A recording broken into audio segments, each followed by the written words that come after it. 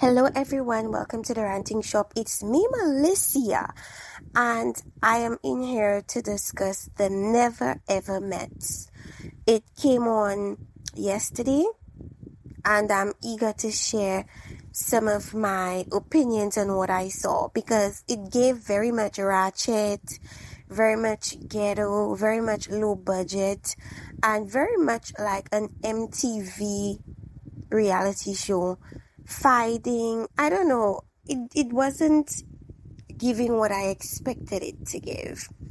So let's go down the line and talk about each couple. So the premise of this show is that a lot of these couples have been dating online for a long period of time. The longest was 12 years, and I think that was she.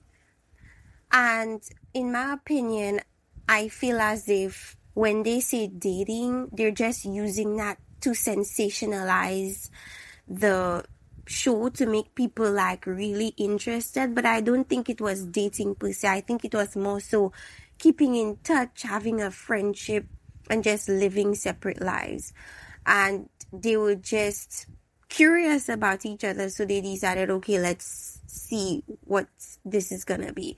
But I don't think they really took each other seriously. And I think the reason why people are so fascinated by them and the 12 years is that they're assuming it's a 12 year monogamous type of relationship. And I don't think that's what it was because he's had a three year old in that interim and maybe another kid. So it's not as if he's been single and talking to her the entire time. And that even brings into question the, the nature of the relationships with which he had that three year old with. Was it serious?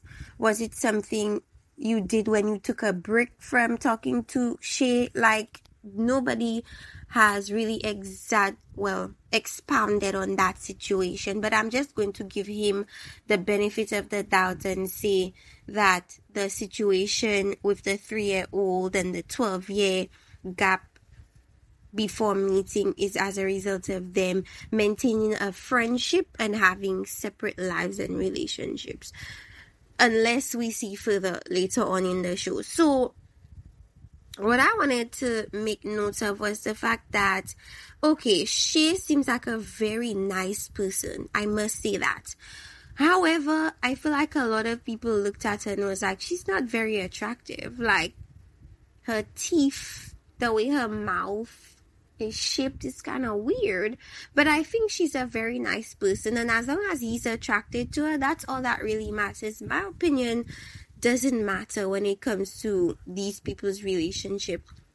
He spoke about his insecurity and his fear of she not liking him.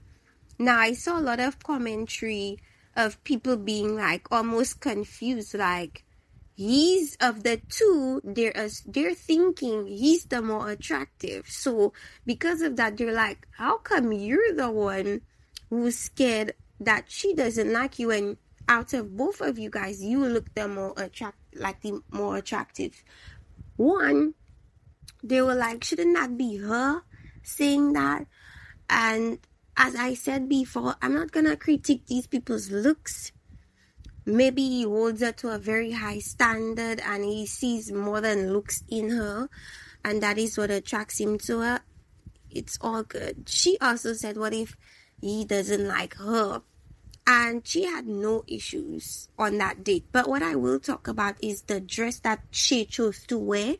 I thought it was extremely inappropriate because this is a guy you're meeting for the very first time. Yes, you guys are familiar with each other, but you guys are, are meeting for the first time. Why would you wear this dress where it's like a huge slit on either side? And then the upper half of the dress is like it's showing half of the boob cleavage and it doesn't look like she was wearing any bra. So my thing is if you're going to something like a park like an amusement park your butt is gonna be exposed constantly and there's gonna be constant situations where you might unknowingly expose your intimate parts to people because of the way the dress is. It's so revealing. It's showing your bum because it's short. It's showing half of your bum because it's the side the sides are exposed. You're showing half of your boobs right? Because the sides of that are exposed. And you're also not wearing any nipple patches because i see her nipple through the outfit. It was just to me it was not it was declassy. It wasn't a very classy outfit and it didn't to me if i was meeting shay for the first time i wouldn't have the best impression of her because it's like okay that's a lot for the first meeting. But it's possible that he knows her personality and so it doesn't shock him that she'd wear something like that because he doesn't seem to be bothered by what she chose to wear. Now greg Greg and Sienna. Sienna is really pretty. She was wearing the green outfit and they had the outing. They they were a couple that were in the same city but haven't met each other in three months. Um, I mean, it's possible, like different lives, especially busy lives, can make it so that it's an inconvenience, so to speak, to meet somebody you're just talking to on social media Another thing people are not taking into consideration is the fact that they're looking at these relationships as serious when really I feel like it's just a pen pal that you finally meet and you want to see if that lasts or if that makes sense to get into a relationship with. Um, maybe Greg prioritized the work, maybe Sienna also prioritized the work, and they just never found time to meet each other. I don't think it's as big of a deal as other people are making it out to be. Although I do believe that if they did prioritize their relationship, they would make a way to each other because they do live in the same city. It shouldn't be so difficult. But I just feel like they just didn't prioritize each other. And they figured, okay, we're gonna meet on this show anyway, so let's just wait. And it could also be a production thing. Production probably also told them, wait before meeting, you know. We don't know how long after they found out they're gonna be on this show, you know. We don't know how long it was. So we don't know if they they just mutually decided let's wait until the show to meet. Because it's gonna make for a better show. Like you're gonna see their facial expressions, their kept their body language and see if they really like each other it, it, it goes well for TV. And another thing Greg said was women like men that are hard to get. I have never in my years heard women say that they want a man to be hard to get. He sounds like he wants to be chased. He's giving metrosexual. It's it's very interesting because I've never heard a woman wanting to chase a man into liking her or wanting to wear him down into liking her. Like, to me, that's supposed to be the man pursuing the woman and the woman being hard to get. He get he got that all the way wrong. Like I don't know where he lives his life, but it seems like he lives in an alternate reality. And he might be the type of man that wants to be chased. So I'm looking at him with a side eye, okay? Because to be honest, I don't know if he even really likes women. Now, Dominique. Dominique and the other woman, I don't recall what her name was. Let's see. The other woman's name is Alexis. So, off the bat, you could tell this couple is giving ghetto, okay? She mentions off the bat that Dominic has a temper, so she knows that about him. My thing about it is a lot of women, because their their lives are full of dysfunction and they lived in an environment where that was normal for a woman to be with a hot tempered man. It was just something that everybody did and if you saw her with a black eye, that was normal. If you saw her with a bruised lip, that's normal you know. Some people have normalized abuse, sadly. So she's probably thinking it's cute for a man to have a temper. Because a lot of women feel when they're in, they feel like love means possession and love means to put, to inflict physical harm on someone because in their twisted way of thinking, it's like that means the person really wants me, the person doesn't want to lose me. And in fact, that really just means that that person has a distorted sense of love and also the person inflicting the pain has issues with their temper and that is nothing to be praised about. Now when i listen to dominic speak on their relationship it sounds as if that relationship is purely superficial. He was attracted to her just based on what she looked like. I don't think he really cares for as an individual. I don't think he really cares for her as a person. I just think he sees her as a sexual conquest because that's what it sounded like. Um, and then he meets her and then he says he's not attracted to her body. I guess she wasn't as curvy as he thought, and so on and so forth. Now, I'm not gonna then go and criticize the way he looks. But what I will do is say that to be fair, women know how to take pictures in particular angles to make them look curvier.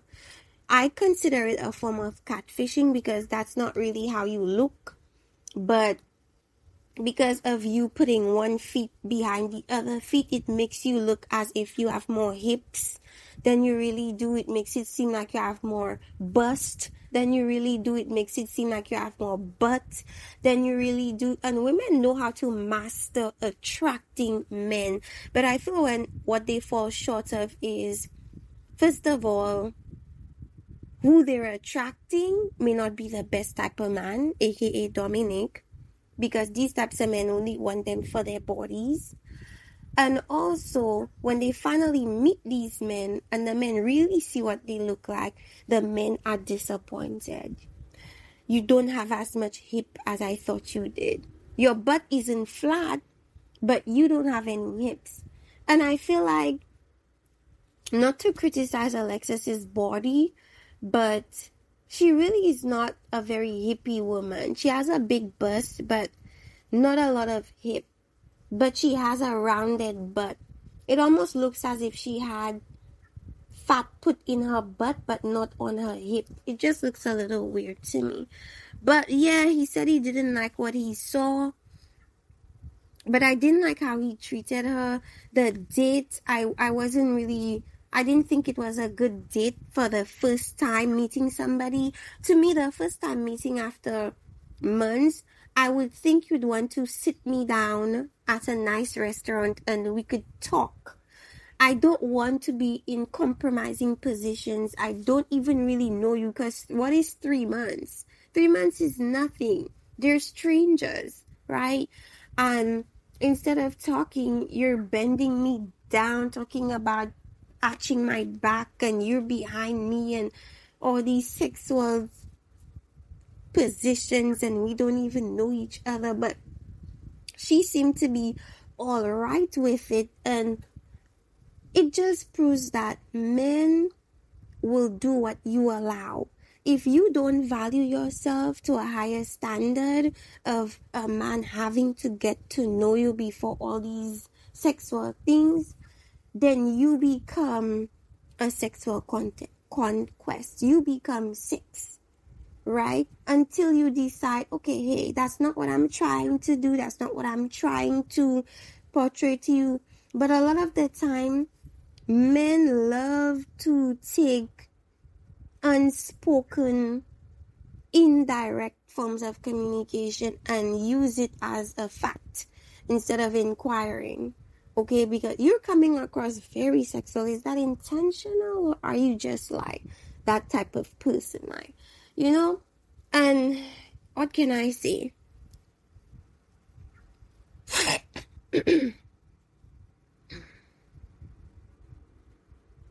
So she mentioned she doesn't like social men, men that have women all up in their faces or men that are all up in women's faces.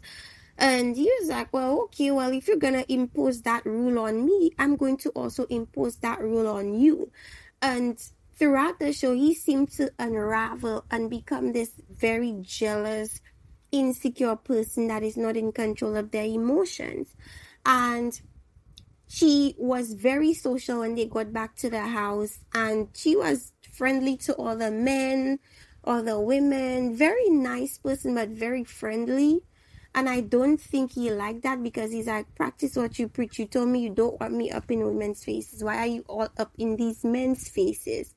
But I feel like a secure man wouldn't even impose that petty rule. Like, okay, if you go dirty, I will go dirtier. That just seems to be extremely immature to me. So she's being social, commenting on different things, asking this guy to rap, as mentioning these other guys' Gucci daddy shots. In my opinion, I feel like she definitely mentioned that way too much. Like that's not your business, that's not your man. Focus on your man and deepen your relationship or whatever. I it's okay to be social. I have no issue with her being social, but my thing about it is she was making too many too much commentary on other men. And um, not that i'm using that this as a justification but i think that's what got the dominique annoyed and eventually it got to a situation where it seemed like they were playing but i feel like he was really just exerting dominance. Like don't play with me don't disrespect me. And then for some reason it just by the flip of a switch his personality demeanor everything just changed and he got violent pushing her violently wanting to hit her it was just all very disrespectful and um, it was very difficult watching that because I don't think I've really seen this on TV to this extent. This is the part that's giving love and hip hop. I wasn't expecting it. And the sad thing about this is that no man really intervened. I could understand you're thinking they're play fighting, but then when she he visibly pushed her really hard, you know, and somebody mentioned oh she fighting back, so you you don't expect that somebody would fight back when somebody physically tries to harm them. That's confusing yes, it speaks to maybe she had to fight a lot in her life, as I mentioned before. Maybe that's what she's been privy to. It's abuse. So she's not, it's normalized for her. But I don't think anybody in that situation or scenario would necessarily walk away if a guy is hurting you. You would feel the need to defend yourself. And I feel like it also speaks to her having to fight her entire life and not being protected. I think she's a an unprotected black woman and she took it in her hands and she tried to protect herself, but she's no match for this big tall man. You know, you see how easy it was for him to push her really far. This man is very strong.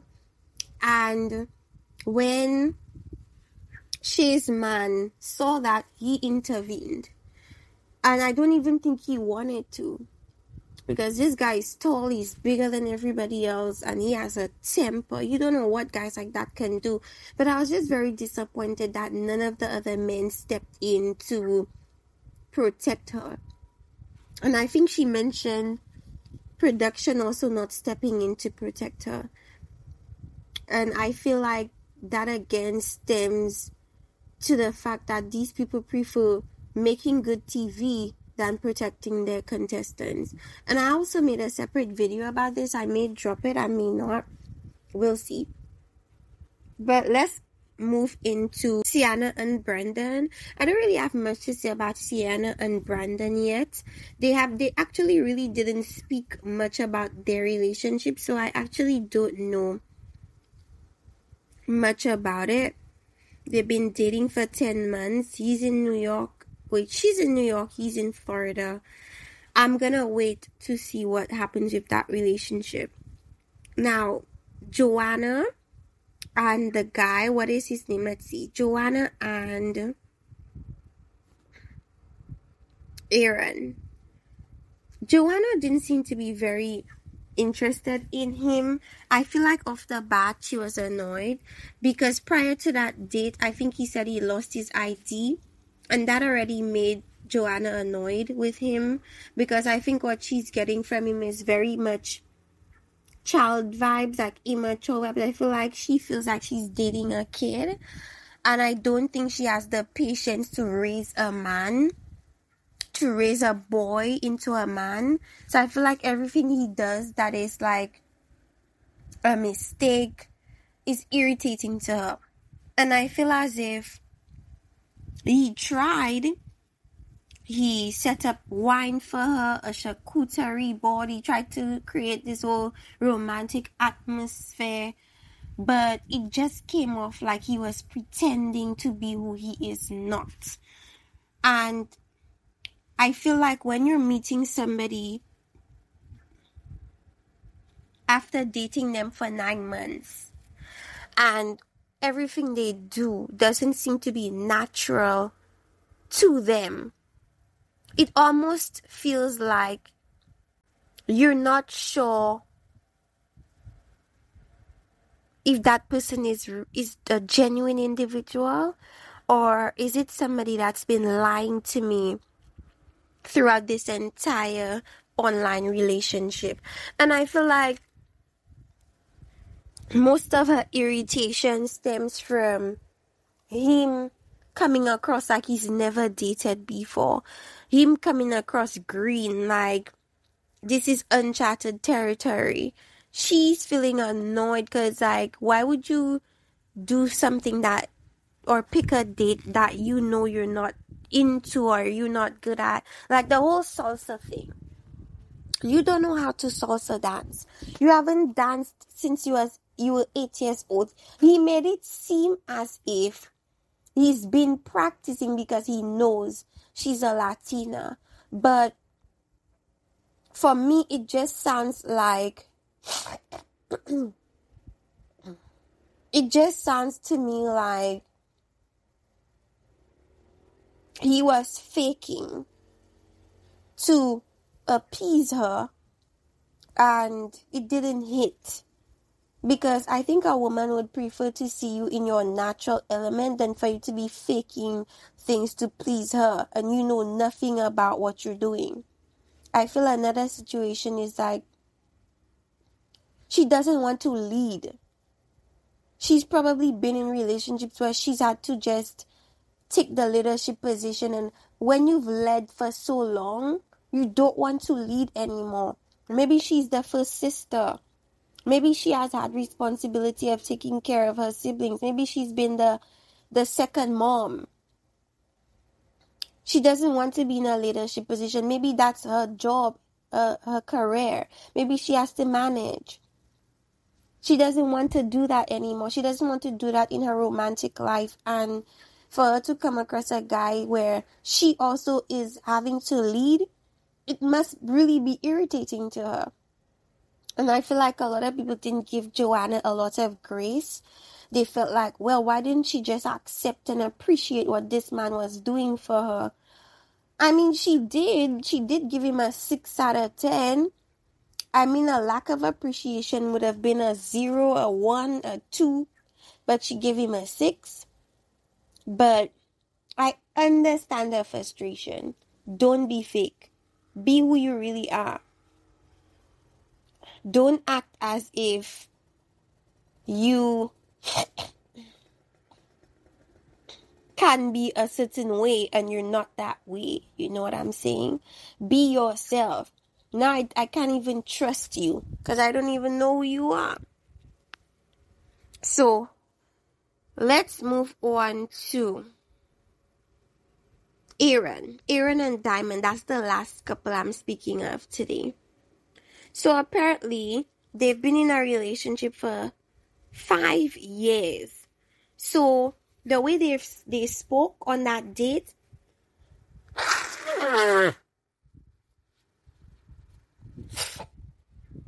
it appears that that relationship was semi serious because it even led to some proposal but he went and proposed to somebody else and she was upset. She doesn't trust him now. She doesn't even want to forgive him. She said maybe, but then she's coming across the table and holding his hand. She's giving mixed signals. This is where you watch people's actions as opposed to what they say because if that was a deal breaker or if that bothered you so much, you would have left that relationship a long time ago. You're still there five years later after he embarrassed you. And you're holding his hands after telling him maybe. So the holding of his hands means you completely accept it. You forgive him because why hold his hands? You know? It appears that later on in their relationship on this show, she's gonna struggle to accept him and his mistake in quotation marks. So we'll see how that goes. Chris, Chris and Sandia Chris only spoke about their sexual chemistry and the fact that they've they've been sexting and the fact that he was comfortable to do that in the introductory part of the show just leads me to believe that all he sees is Sandi- in Sandia is sex. Furthermore, the unfortunate thing is I think people was all mesmerized and swooped away by the plane ride that he the date that they did, which was a very nice date. It was probably the best date out of all of the other dates. But I think some women seem to have let that cloud their judgment and assume that Chris was this amazing guy. From the time Chris came off the bat and said that sexual chemistry and the sexting and all these things, I was already like, this guy only sees this woman as one of many. Like, and he seemed to only prioritize sex. So, to me, it didn't give serious. It gave, oh, let me see if she's gonna sleep with me. That's what it gave. This couple have been dating for three months, and he seemed very, very nice, I guess, until he started speaking to the guys and was like, he's think he's kind of looking down on lover boys and I guess that's what the guys call simps. And he talking about he's uh, he has several women and him and Cynthia are not serious. He's not Cynthia's man and Cynthia is not his woman and he will basically love bomb you and not talk to you for a week. This man just plays games. This man is a game player. And me being Sandia, listening to this, I would take that as my cue to leave because this guy will just waste your time. This is beyond disrespectful, right? You go from a perfect date to eavesdropping on a guy, basically telling other guys that he doesn't really care for you like that and you're you're replaceable. That's crazy. I mentioned that he has trust issues because in his mind he feels as if he needs to get a woman first before the woman the woman gets him. Almost like that avoidant type of personality that I spoke of with Alexis. It's like these people feel as if other people will hurt them first, so they do the hurting first. They want to be in control of who hurts who, right? And it's never gonna be them that that ends up hurting. So they're gonna hurt people at the first chance they get. And Sandia is eavesdropping, listening. And then all the men are like, leave, leave, go away, move. And I'm like, wow, these, this is like disrespectful. And Chris is very disrespectful. Like, anyways, so far, I am not really interested in many of the couples. I don't know much about Greg and Millie. To be honest, is it Greg and Millie? Let's see. Let's go one on one. Let me give my assessment. Alex and Dominic,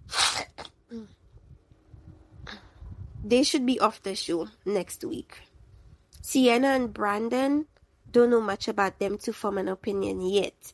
Sandia and Chris, absolutely not separate, never see each other again. This man is not ready to be in any committed relationship and he doesn't respect Sandia. She and Josh seem to be the most into each other, to be honest. And I know a lot of people are criticizing Shay's looks, but Josh doesn't seem to be too even a little bit upset about it. So I'm rooting for them. Joanna and Aaron, absolutely not. A lot of people are saying that Aaron is coming across very much gay and that he doesn't really like women. I also see it, to be honest. It just seemed like he's doing this as an experiment. Like this is the first woman he's ever gone on a date with. Like that's what it's giving. It's giving I'm not used to dating women. Diamond and Aaron H um, I just feel like she's not gonna be able to get past the betrayal of what he did, and I feel like they're gonna always have to go back and readdress it, go back and readdress it. And I just am already exhausted by that relationship. A lot of people are saying Diamond is not a girl's girl. I don't think that that's the case. I feel like certain women at a certain age they don't want to share beds with other women.